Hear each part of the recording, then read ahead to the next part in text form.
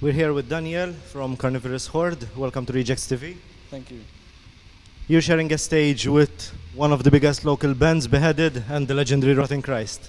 How do you feel?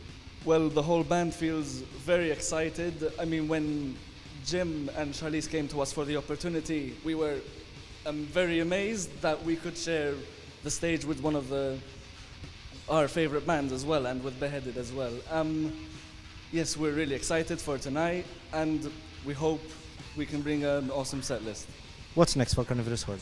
Currently, we're planning to record um, all our songs as much as we can, and hopefully, we'll be shooting a music video ourselves as well, which will be in around a few months, hopefully this year, but we'll have to see how we go with it. What can the crowd expect from you?